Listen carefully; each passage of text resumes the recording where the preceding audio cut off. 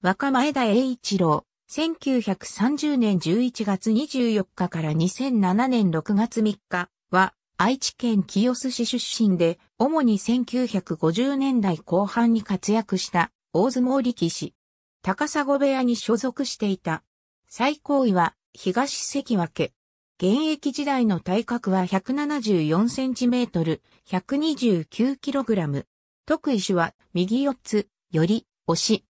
名古屋市内で千番校として働く傍ら相撲部で活躍し、1949年の巡業の折に複数の部屋から勧誘されたのを機に高砂部屋に入門し、1950年1月場所において初土俵を踏んだ。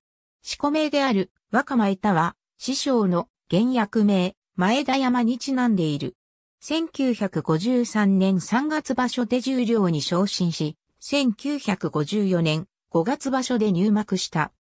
この新入幕の場所では9日目に急性中水炎を発症したが、注射で散らして土俵に上がって3連勝し勝ち越しを決め、その後千秋楽まで休場し、不戦敗なしの休場という珍しい星取りを残した。1958年1月場所から3場所連続で鏡里、若野花、千代の山らを倒して、関東賞を受賞し、翌年、1月場所では、横綱、栃錦を破って、技能賞を受賞した。新関分けから2場所を続けて10勝5敗と2桁勝利を挙げる活躍で、大関昇進も期待されたが、膝関節の負傷で果たせなかった。立ち合いの一気の押し、諸差しから寄り立てる速攻相撲が持ち味であった。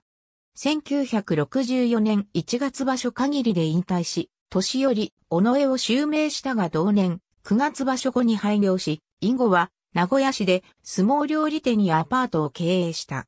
2007年6月3日、病気のため死去。76歳没。ありがとうございます。